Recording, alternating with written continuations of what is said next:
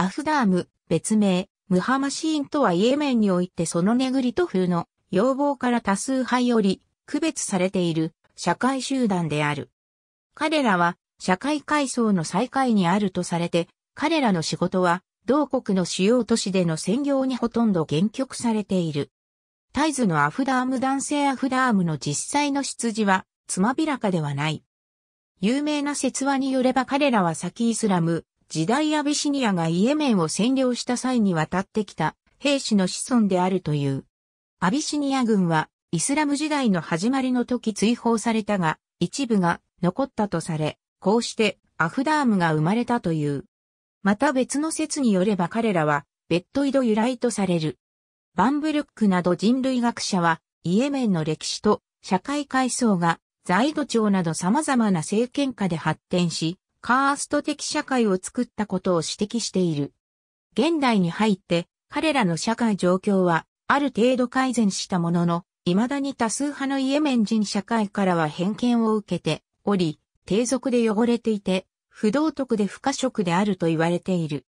彼らは世襲制のカーストを形成しており、それはイエメンの社会階層の最下位に位置している。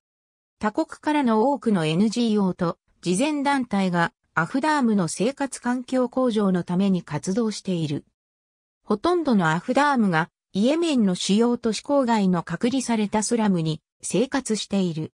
多くは首都、サナーニ、ソノターデン、タイズ、ラヒジュ、アビアン、アルフダイガ及びアルムカダーにも見られる。政府当局の推計によれば2004年現在のアフダームの人口はおよそ50万人である。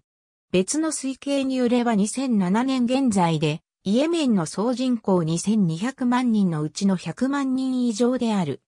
社会的地位のほか、アフダームはそのベッドイドすなわちネグリト風の容姿が一般のイエメン人とははっきりと異なっている。彼らはイエメン人の平均より少なからず、背が低い。毛髪や肌の色もネグリトの特徴を持つ。